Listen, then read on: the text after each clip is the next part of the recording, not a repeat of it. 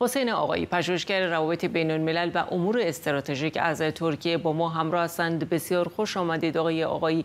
خب به نظر می‌رسه رفتارهای جمهوری اسلامی در حمله به کشتی ها در منطقه دیگه تحمل نمیشه. ابتدا ارزیابی شما رو بشنویم. از اعزام تفنگداران و تجهیزات بیشتر آمریکا به منطقه و همچنین بیانیه اتحادیه عرب که هر گونه حمله و تهدید به کشتی ها رو محکوم کرده.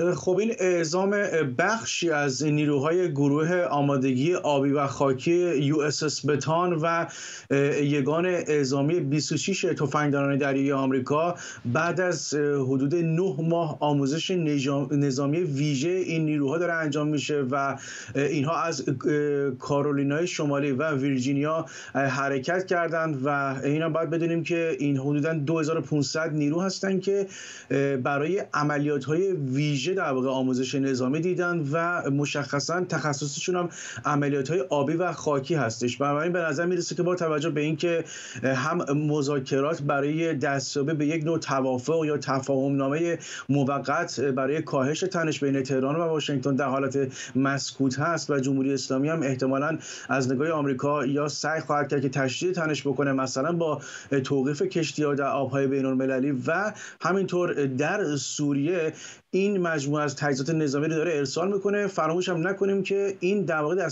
راستای یک سری سلسله اقدامات دیگه هم داره انجام میشه. مثلا تمدید ناوگروه ضربت USS هربرت واکر بوش در دریای مدیترانه اعزام یک اسکادرون هواپیمای تهاجمی ایتن در منطقه. اعزام زیردریایی اتمی یو اس اس فلوریدا به منطقه با قابلیت حمل 156 موشک کروز توماهاک. افزایش ماموریت های هواپیمای گشت دریایی پی 8 پوسیدون. رزمایش های مشترک آمریکا با اسرائیل اعزام جنگنده های F22 F16 F35 و اعزام ناوشکن توماس هادنر با که مجهز به موشک‌های هدایت شونده است. بنابراین آمریکا به طور خلاصه بخوام بگم کاملا داره سعی می‌کنه که به نوعی ایجاد بازدارندگی بکنه در راستای اقدامات احتمالی جمهوری اسلامی. علاوه بر ارسال این تجهیزات به منطقه از سوی آمریکا خب جمهوری اسلامی به دلیل حمله به کشتی ها از میزبانی نشست سازمان بین المللی دریانوردی کنار گذاشته شده. چقدر مجموعه این اقدامات پیامی مهم و قاطع است به جمهوری اسلامی تا اقدامات مخرب خودش رو علیه کشتی ها و حمله و تهدید کشتی های منطقه متوقف کنه؟ ببینید ما یک پترن مشخصی از تخاصمات دریایی جمهوری اسلامی رو شاهد هستیم در آبراهای بین المللی به خصوص تو منطقه خلیج فارس و البته به طور ویژه تر در تنگه هرمز و این رو هم فراموش نکنیم که درسته الان خیلی زوم شده روی تحولات در این آبراهای بین المللی ولی یه اتفاق بسیار خطرناک مهم دیگه هم داره رخ میده در سوریه هست بین در واقع آمریکا از یک طرف و روسیه و جمهوری اسلامی.